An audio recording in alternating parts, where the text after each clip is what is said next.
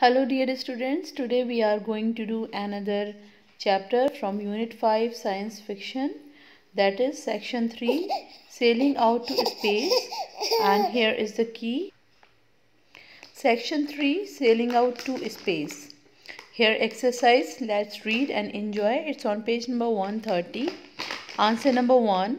The speaker appears to be a child with a wild imagination.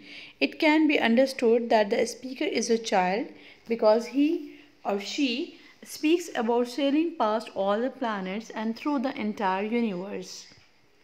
Answer number 2.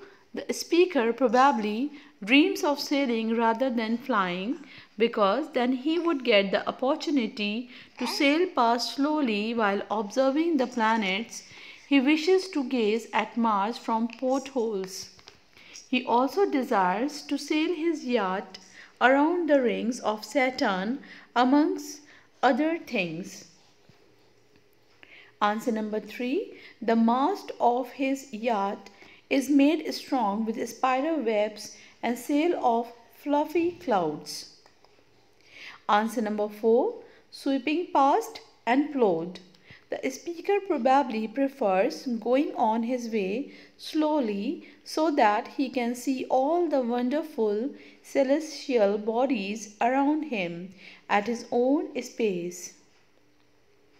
Answer number 5 Mars, Earth, Saturn, and Jupiter. Saturn has an extensive system of rings. Jupiter has a great red spot. Answer number 6. He desires to catch a star or two and also wants to take in the view of the entire universe. Answer number 7. It may vary according to uh, your thinking. You can arrange it according to you. Here uh, my answer to help you is yes, I would definitely want to share the speaker's marvelous outer space experiences.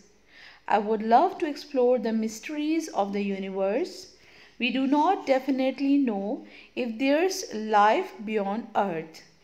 I would like to know if life on other planets exists.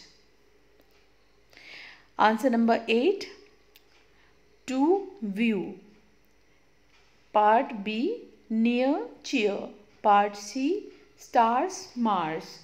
Part D. Cloud plow. Part E Storm Swarm